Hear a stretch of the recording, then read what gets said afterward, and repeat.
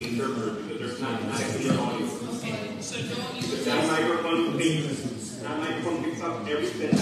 around it. So don't use this. Alright. I'd rather not use that because we won't have clear audio for the server. Okay. Alright, um, okay, does this work? So, does that one Stop a bit, okay, you talk about it, the can a little bit more sounds far. It should be on. The problem is it's on speaker, so um, it, they didn't interpret online on the phone. Are you online? They're all online, but I'm not yeah. seeing any response So it. Something close to the chat because um, they are connected and they told me that they couldn't speak because of the video that was on. So hopefully. Yeah, but.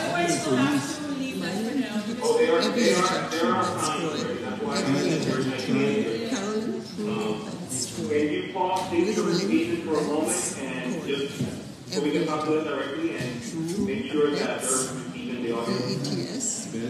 And then Corey. Yeah, but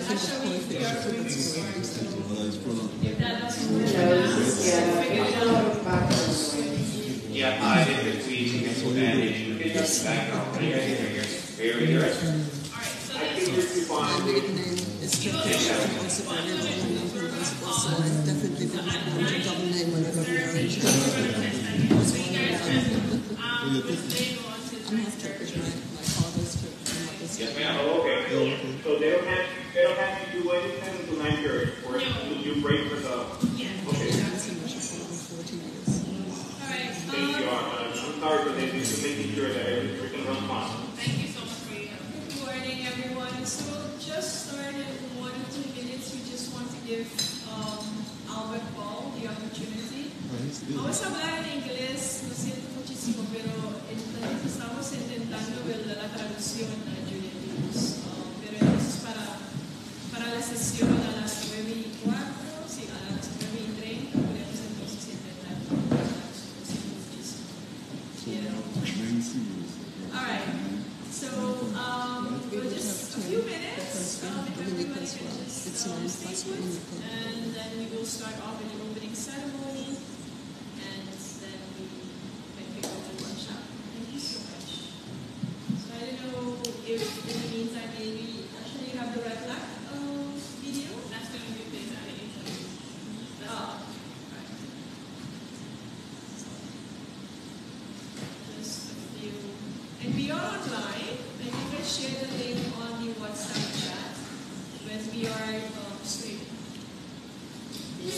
Thank you.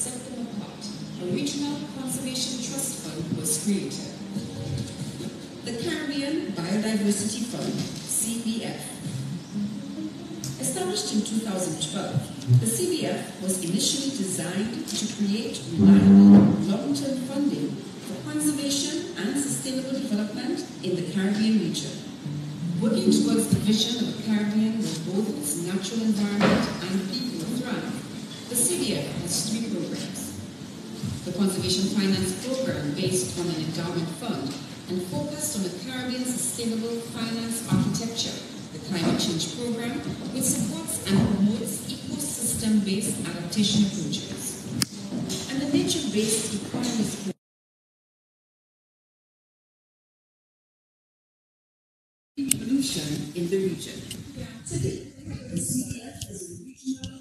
Thank you. We can stop the video and.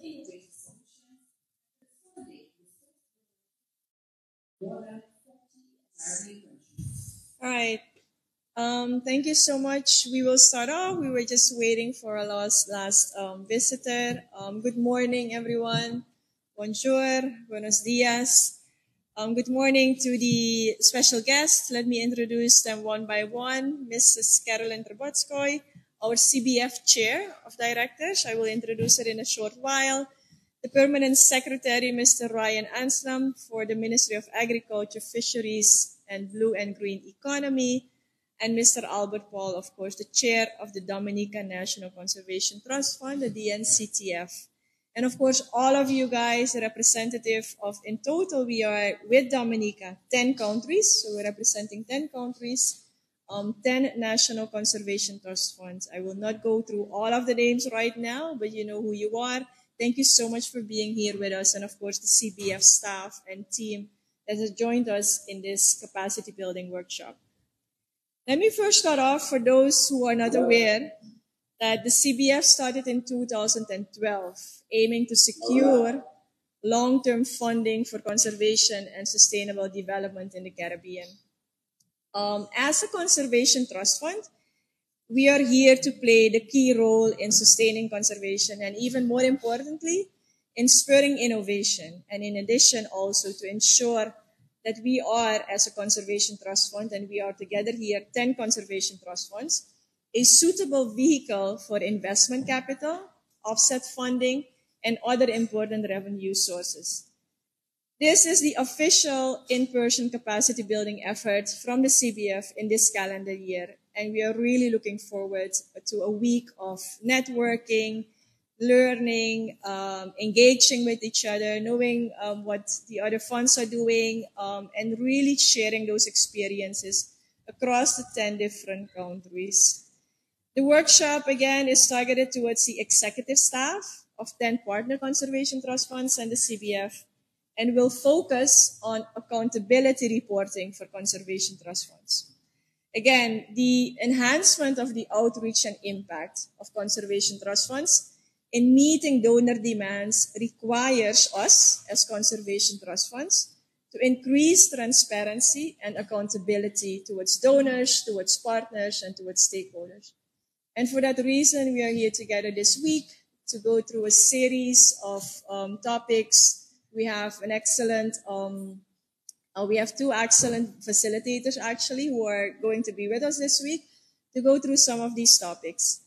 And in addition, we really truly hope that this workshop enables networking among the CBF, among you guys as conservation trust funds, strengthening and advancing actions towards conserving the biodiversity aligned to your national but also international priorities, including the Global Biodiversity Framework commitments. And with that, I will stop here and I will hand over to the next speaker, who is Mrs. Carolyn Troubetzkoy. Let me just introduce Carolyn just briefly. I know she has a really long history. Um, I, I, I wanted to summarize this, Carolyn, because it's really long, but Carolyn, she hails from St. Lucia and Caroline is the Executive Director, Marketing and Operations of award-winning resorts Anse Chastanet and Jade Mountain Resort in Soufriere, St. Lucia. Jade Mountain Resort is renowned not only for its luxurious accommodations and the stunning views of the pitons, but also for the commitment to environmental conservation and sustainability. In July 2020, Caroline accepted the chairmanship of the St. Lucia National Conservation Fund and in this capacity has joined the board of the Caribbean Biodiversity Fund. In September 2022, the board of directors of the CBF elected Mrs. Troubetzkoy as their new chairperson. And she's the first non-donor chairperson. She's the first woman chair. She's the second only chair of the CBF representing partner conservation trust funds and in this regard, the St. Lucia National Conservation Trust Fund and a, a, position that she currently holds, and that we are very, very grateful that she has found time in her busy schedule to be with us here today. Thank you so much, Carolyn. The floor is yours.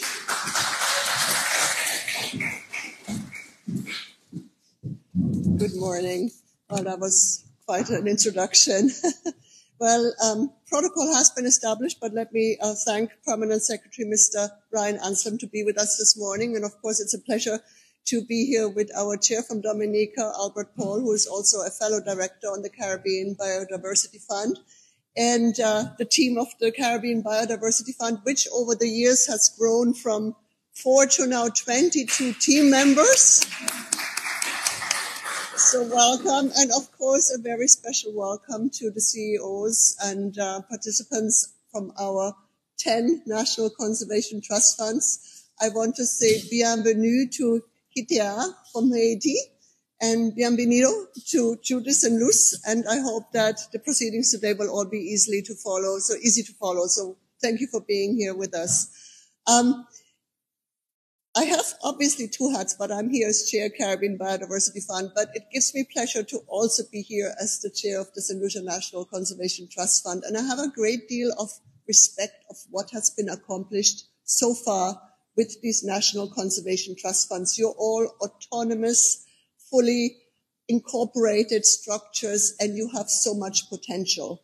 And as we're kicking off this workshop today, I think the, what we really want to see coming out of it, that you feel empowered, that you feel stronger, and that we can help you with this capacity building to make even more progress, all with the aim to protect our national heritage, to preserve and conserve our terrestrial and marine environments, and of course, in the process, also build sustainable livelihoods. So I, I am delighted to be here. She said, I have a very busy schedule. It's true, but um, not only did I want to be here and, and support the, the, the event, I also was secretly delighted it was Dominica.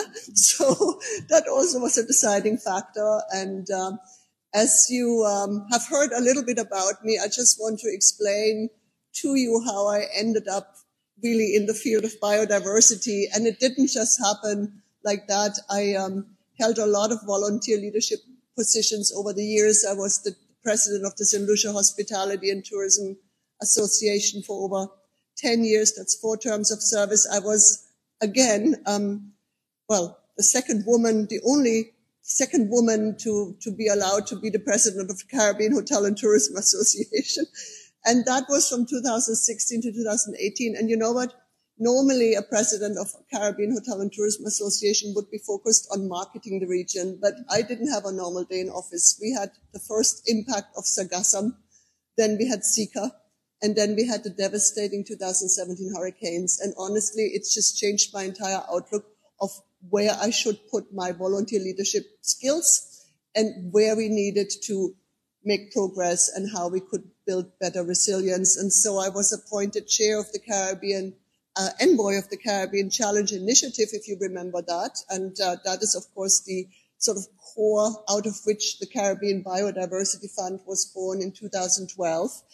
And um, because in St. Lucia, the St. Lucia Hotel Association was in fact a founding member of the National Conservation Fund, I was invited to sit on the board, became the chair, and then little did I know that I had I would be chair, appointed chair of the Caribbean Biodiversity Fund, as Tanya said, only the second chair in the history. I can't tell you how happy I am though to be here because my relationship with Dominica was always including heartache because I was always in an official role with the Caribbean Hotel and Tourism Association when Hurricane Erika struck, when you were impacted by, by the hurricanes Maria in 2017. And uh, so I did a lot of fundraising for Dominica. And um, in, I had a chance yesterday to go by the Coulibistrie School, which was re-erected after Erika with funds that I really personally, in a way, raised through the Hotel Association with my colleagues there. And it was very meaningful to me. And uh, I would have to say it helped me yesterday. I had a day with a friend, Gregor Nassief, to show me Dominica and I could correct my my vision of Dominica, I could now have, I have some really positive, wonderful visions and, um, and it was very important to me. But, um, I have loaded boats after boats after Maria to, to bring assistance here, which of course was just a drop on the hot stone. I know how bad it was, but it was still very meaningful. I'm, I'm so happy to be here. And as chair of the St. Lucia National Conservation Fund, I want to now say to Dominica, we are also your neighbors and we are more than happy to support you further. It is wonderful that we have reached this milestone with Dominica. Um, German Development Bank uh, made funding available to you in 2019. And then, of course, we were able to sign the full partnership agreement with Dominica in uh, December 2022. And so now we want to also assist you to go to the next phase where you can do your grant making, where you can protect, where you can promote um, projects, where you can, in fact, help Dominica to sustain your incredible national heritage. And uh, I think that uh, whatever we can do to help you, and also I hope it's going to be a great workshop. I'm really looking forward to being part of it. And with that, I just hope we're going to have a great time. We're going to have successful outcome. And it's a real pleasure to be here. Thank you very much.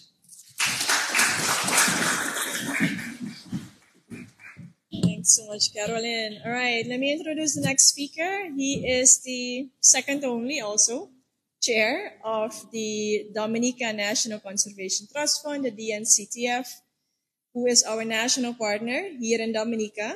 Um, they were established very recently, so it's a very new organization, as Carolyn was saying. They were established by mid 2022. We would have signed what we would call the pre-financing agreement by September 2022, and the, the partnership agreement itself in December 2022, which brought me here for the first time in Dominica. Um, this is my second or third time in Dominica, but again, it's a real pleasure to be here.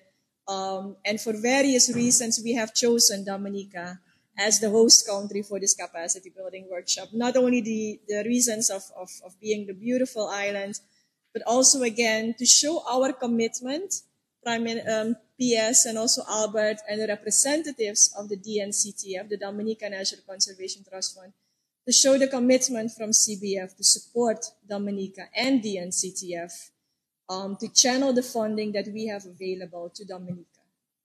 So please um, let us network, reach out to us, um, sit together. We actually do have next week, specifically with the DNCTF, um, two days of board retreat where we will go through some of the processes where actually Greg Henry as the CEO of the St. Lucia National Conservation Trust Fund, has also graciously accepted the offer to stay behind and sit down with the board because of the experience and the lessons learned that he can convey to the DNCTF.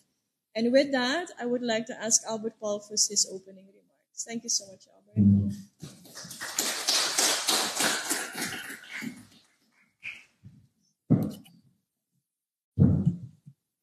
Good morning.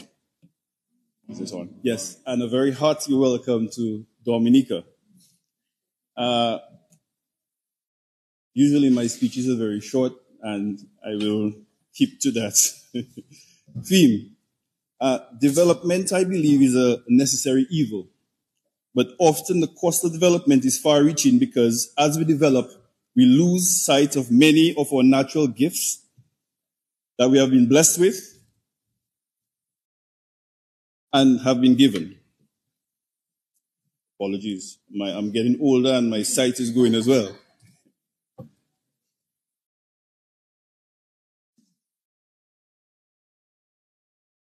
It is hard to imagine a world without trees or clear, fresh water or deep blue seas filled with varieties of aquatic creatures, plants, sites.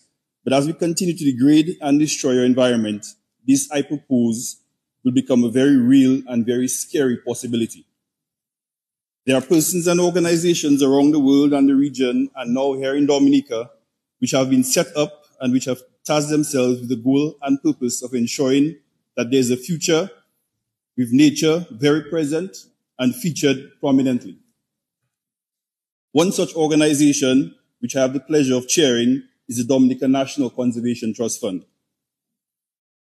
The Dominican National Conservation Trust Fund was set up through the initiative, was conceptualized through our partners, the Caribbean Biodiversity Fund. It's a fairly new organization, just about a year old. But um, of course, I know many of the NCTFs here would uh, understand that you do have a lot of teething issues. There are things, there are hiccups along the way, but the goal and the, the purpose of these organizations uh, remains resolute. We need to protect our environment. We need to ensure that we leave something for the future generations. Interestingly, I, am going to, to, and I promise not to be very long. uh, I remember growing up and there were mangoes and limes and, and fruits in abundance. Actually, I had several grapefruit trees right outside my door. And we took a lot of these things for granted. We went to the river, we went to the seas, and they were vibrant colors and there, there was beauty all around us, but we also took those things for granted. I don't want to live in a world where our future generations only read about these things. I want to live in a world where we set a platform for future generations to come so that when we leave and being almost 100 years old, I think I'm probably going to leave soon. but I, I want to, to, to, ensure that, that what we do here is going to resonate not just today, but tomorrow and for many years to come. And I'm happy that organizations like the Caribbean Biodiversity Fund has conceptualized the forming of NCTFs around the region and continue to do wonderful work around the region, uh, not just here in Dominica. Well, we're only just getting started. And I believe that, that the future is bright if we have these sorts of engagements and these sorts of initiatives, not just here in Dominica. And I, am happy that you decided to have this uh, function in Dominica because, of course, Dominica is setting itself up to be the first climate resilient or the, the first resilient country in the world. And these often are, are, are just words, but uh, they require lots and lots of action. And organizations like the DNCTF, the Caribbean Diversity Fund, and all our partners, uh, including yourselves, because we, we, we, need to, to build capacity wherever we go, because we don't know it all. And the, the more, the more we get, in, the more information we get from other persons, the better it's going to be. So again, as I said, I promise to be short. I, I usually talk a lot. I don't normally write things down whenever I come, so that's why I had some difficulty. But I like to talk freely and, and I'm just happy that to see all these faces here and I'm happy that we're, we're having this initiative and I look forward to, to wonderful engagement with all of you and we're going to have a wonderful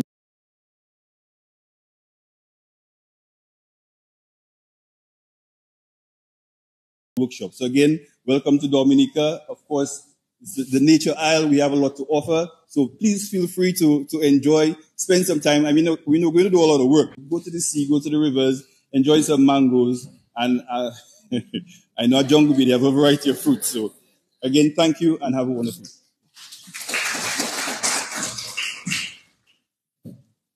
Thank you so much, Albert. And yes, that was mango at breakfast. So for those who did have breakfast. Um, we did enjoy the beauty and all the tastes of this beautiful island. So the next um, speaker that I want to introduce, and we're really honored also with the participation for from the Ministry of. I have to look very well. I have to read it out because it's a really long name, but very important. The Ministry of Agriculture, Fisheries, and Blue and Green Economy, the Permanent Secretary, Mr. Ryan Anslem. We're very happy again to have this ministry to be our main partner on, in Dominica. When we received the funding from Germany, the German Development Bank in 2019, we started the engagement with this specific ministry, and I think that was started in 2020. It was even before my time, but we started the engagement with the ministry, um, and we actually elected in September 2022 when the Dominica National Conservation Trust Fund was established the first um, chair that was, yeah, the first chair that was elected was actually the now honorary Julian Defoe, the current Minister of State in the Ministry of Agriculture, Fisheries, Blue and Green Economy, with specific responsibility for fisheries and blue economy. We know that he couldn't be here. He um, apologized, but he would have sent the Mr. Ryan Anslem, and we're very happy that you are here um, with us today and for your opening remarks. Thank you so much, and the floor is yours.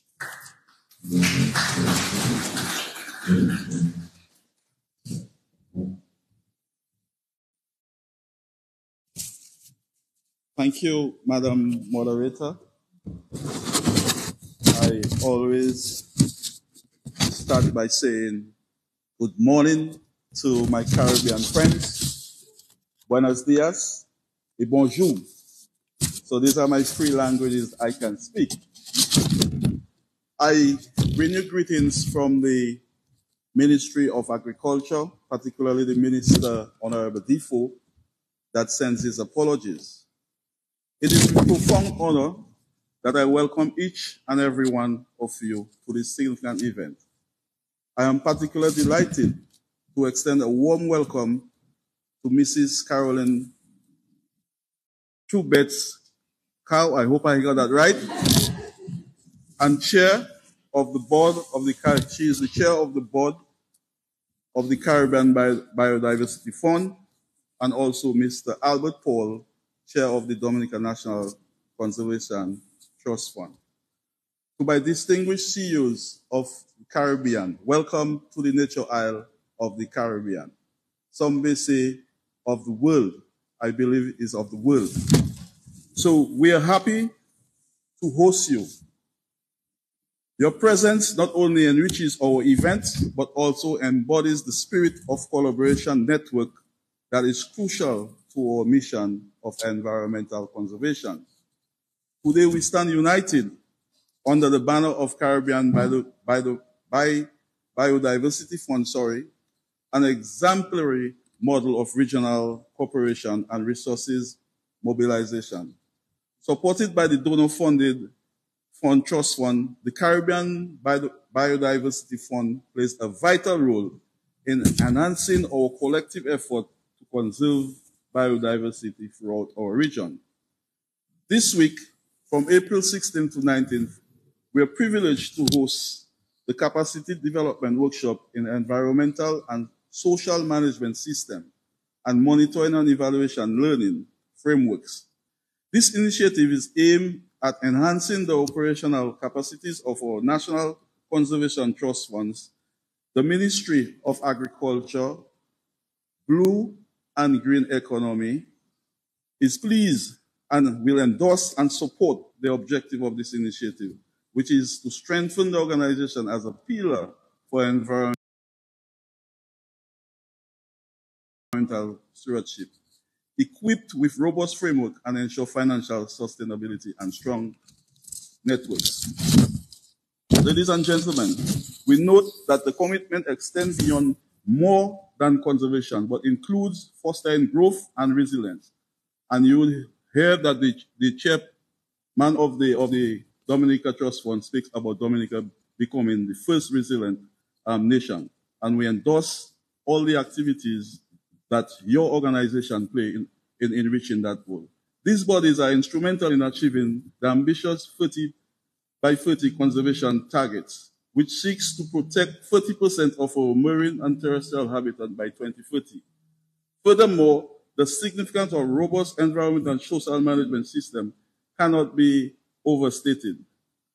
A well implemented ESMEs, ESMEs ensures that conservation projects are conducted with a full understanding of their environmental impacts and social implications. Ladies and gentlemen, the integration of monitoring and evaluation learning framework is equally critical.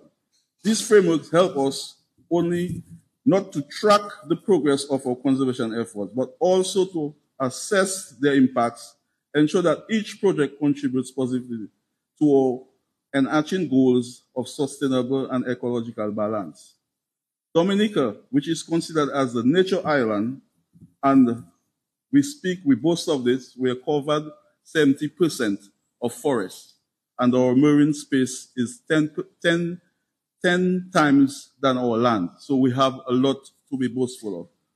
The richness of Dominica biodiversity is not just a natural treasure. It is a vital for our daily needs providing food, shelter, energy, raw materials. And we speak about our wild fauna, our wildlife that is very important for us. Our government support the Dominican National Conservation Trust Fund and, and encourage everyone to take full advantage of the opportunities that derive from this trust fund. Honorable Julian Defoe in his former capacity as Chief Fisheries Officer, was instrumental in forging the partnership that led to signing the partnership agreement with the Dominica National Conservation Trust in November 2022. This partnership highlights the government's commitment to integrated conservation with sustainable development. Dominica biodiversity accounts for 48%, almost 50% of our local food supply. That means that we get our food, our meat, our fish from our rivers and from our seas fruits and vegetables. That is significant. So when we talk about food security, Dominica, in terms of the biodiversity, it plays a fundamental role. And I'm sure that is equally the same in our Caribbean countries. Biodiversity also, also provides energy in the form of um, fuel wood and charcoal, one I do not support, but yes, it provides, um, and we have to be mindful of cutting down trees for charcoal. And, and so materials for craft, and I just want to pause for a minute and to highlight the importance of craft for the our Kalinago um, friends. And, and so um, I'm sure if I mentioned the name, you wouldn't identify, but there's a, a, a, a, a tree that called Larouma that our Kalinago friends use to do craft. And um, um, I see my good friend Derek and, and, and, um, and um, others from Dominica should show a picture of the beautiful craft of the Kalinago um, people. Wonderful stuff. So again, we need to show and tell a story of how important the biodiversity is. It's not only speak about it, but how important. And last, last, last evening, I had a conversation with the Honorable Minister. We speak of agriculture contribution, agriculture and fisheries contribution. We only speak of export and the crops, but we don't put a figure, monetary figure for conservation and biodiversity. And I want to leave that with you to put a figure of your efforts in conservation, and that is important. What is the monetary figure of conserving your biodiversity, of not planting crop in somewhere that poses a risk? You have to put that as a monetary figure. We are very thankful that Dominica has played a leading role in ensuring that our forest is conserved and that we are contributing to the net sink for greenhouse, green, greenhouse gases, thanks to our lush green forests, as that is detailed in our Dominican National Biodiversity Strategy and Action Plan of 2014-2020. Some strategy that we want to review and, and as we move forward. As we proceed with the plan, planning session over the next few days, I encourage each of you to fully engage and share your best practices share your knowledge with each other and your insights and expertise. Let us learn from each other and foster innovations that will advance our conservation efforts into the future. I see this workshop as not just a forum for capacity building, but a vessel for growth of new ideas and collaboration and networking that will shape the future of biodiversity conservation in the Caribbean. Today, we embark on a transformative journey, a journey that promises not only to safeguard our treasured biodiversity, but also to ensure the sustainable prosperity of our nations. The initiative we are discussing include development of monitoring, evaluation, and learning, and environment and social monitoring system frameworks, a testament to our commitment and strategy response to environment challenges of our time. And we have to be mindful of climate change. We have to be mindful of every year we get storms, we get hurricanes, droughts, and um, one area I need to highlight, pests and diseases. We sometimes forget the dangers and impact pests and diseases can, can do to our bio, biodiversity. So invasive species is a is an important area that we need to also focus on. In closing, I hope I, I was not um, very long, but it's not remark, um, a future address. But I want to urge us. I want to urge us as Caribbean brothers and sisters. Um, too many times we, we speak and we don't act. I think that has to be our way of life. And uh, my good friend Albert spoke about mangoes, but I want to give a story of myself. And it's always, it's always good to give story. I remember growing up, um, before you cut a tree, not a tree, but a little shrub, any little shrub, you have to be watching to see who is watching for you to do it. So our laws on cutting trees in the, in the 70s and the 80s were so strict. You grew up knowing that you cannot cut a tree, knowing that you cannot pollute the river, knowing that you cannot do these things. I think we've gone away from this. I think we need to strengthen our public awareness. Start from the school. Let us bring back the consciousness of, of biodiversity. Let us also recognize the global significance of our efforts. Dominica plays a vital, as I mentioned, not only Dominica, but other Caribbean countries, role in reducing greenhouse gas emission, contributing to global climate change mitigation. Our local efforts have a global impact, and it's imperative that we view our responsibility very seriously as we share borders, as we say, Caribbean and CARICOM. In closing, the path to sustainability and conservation is a collective endeavor. Our actions are our future.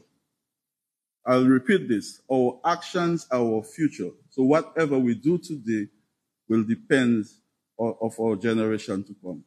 It depends the involvement, investment, and innovation, all sectors of society.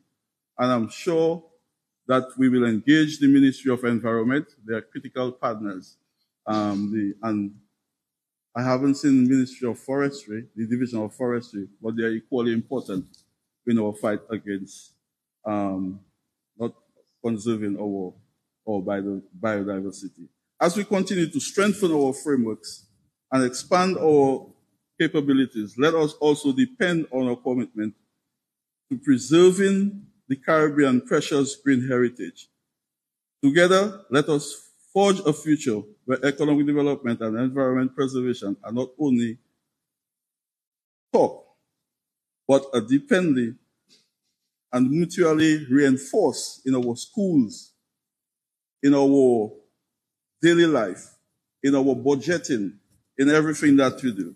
There is a famous African proverb which says, if you want to go far, go together. And in my own words, if you want to go far, you go alone. If you want to go faster, we go together. So I leave that with you. Um, we have to work together. So I want to thank you and again apologize for the Honorable Defoe. I, I know he, he wanted to be there. I want to thank you for your dedication, your passion, and your participation. I look forward to a fruitful discussion and enduring partnership that will emerge from this workshop. So I wish you a successful workshop. Thank you very much.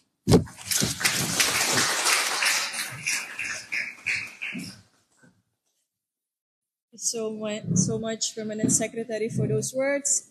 And with that, we've come to the end of the official opening ceremony. Again, thank you for those inspiring words. I hope it resonates to all of us to do our best this week, to network, um, to take action, um, and to ensure that we can preserve the biodiversity.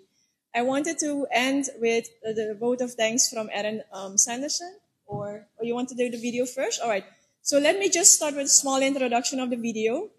The REDLAC is the network of Caribbean trust, Caribbean conservation, not Caribbean, Latin American and Caribbean conservation trust funds.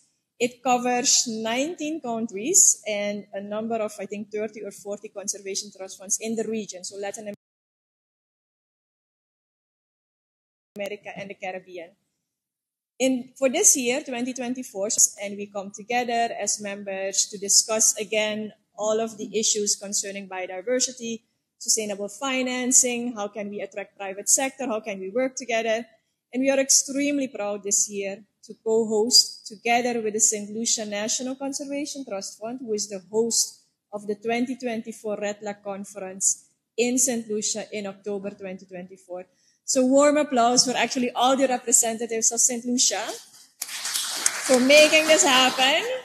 Uh, we are extremely proud and we are here to stand by next to you to make this conference a success. And we'll show the video for now. Thank you so much.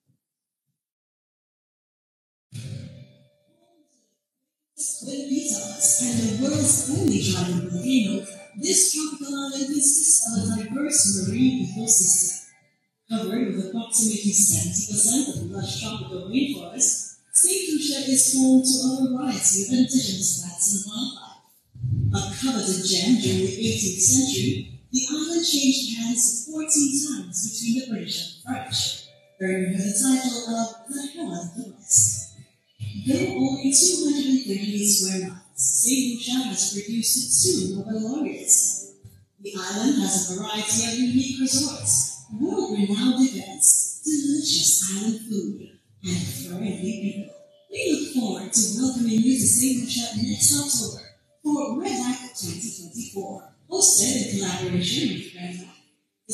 Lucia National Conservation Fund, and the Caribbean Biodiversity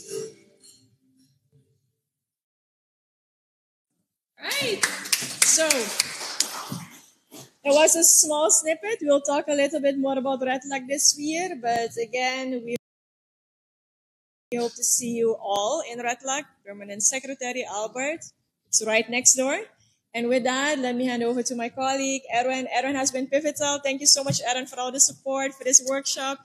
She is our Dominica host um, from the CBF. So thank you so much, Erin. And um, with that, we will close. We will have a small, you know, coffee break, I would say, before I hand over to the facilitator of the session after this, and it would be Giselle Hall our monitoring and evaluation specialist. So she will take us then through the rest of the day, actually, today and tomorrow.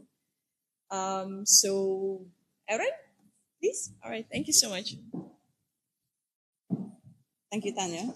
Um, I think I have the simplest and shortest and easiest task, but still equally as important because it's important to express thanks to all those here.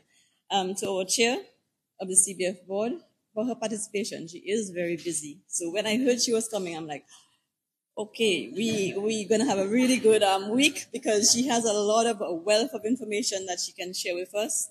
Um, Dominica is like the sister to St. Lucia, so I'm happy she and Craig Henry will be here to support the DNCTF in this week and the following workshop.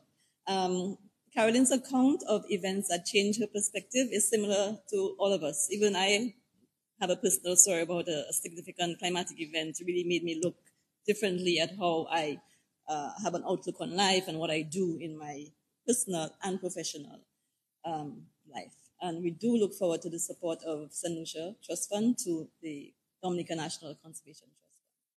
Albert, again, very busy, um, but thank you for taking time off to spend this week um, with us and highlighting what the activities of the DNCTF will mean to Dominica. And I'm happy we have a live stream. EmoNews has a very wide coverage, and I'm hoping that Dominicans now have an appreciation of the DNCTF and look forward to the activities that you will undertake.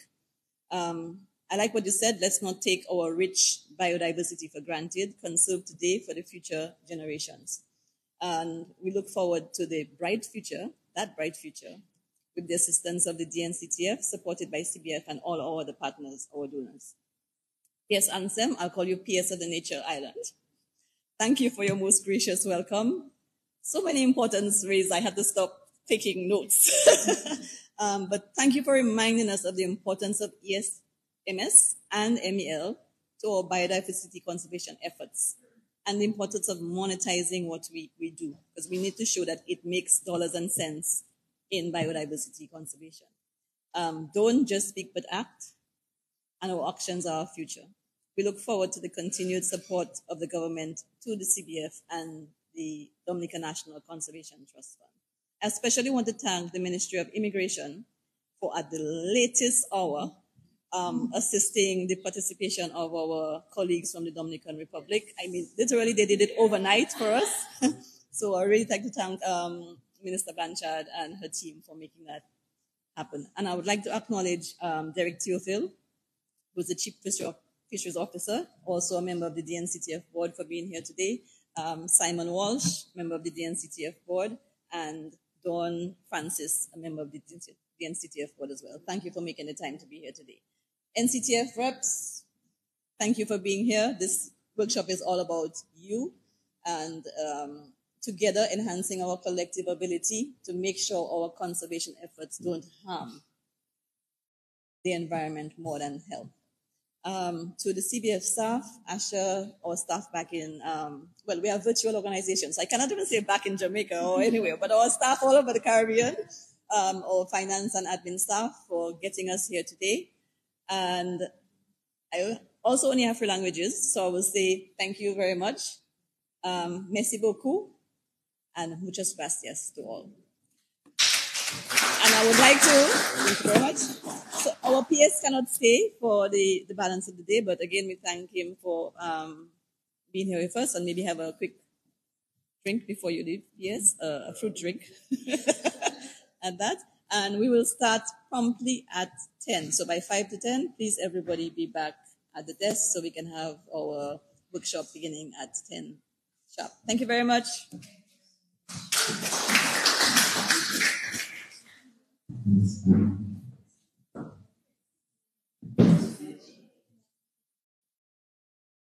And on behalf of EmoNews, we thank you for joining and we wish the CBF and its member partners a successful workshop. Have a good morning, everyone, and goodbye.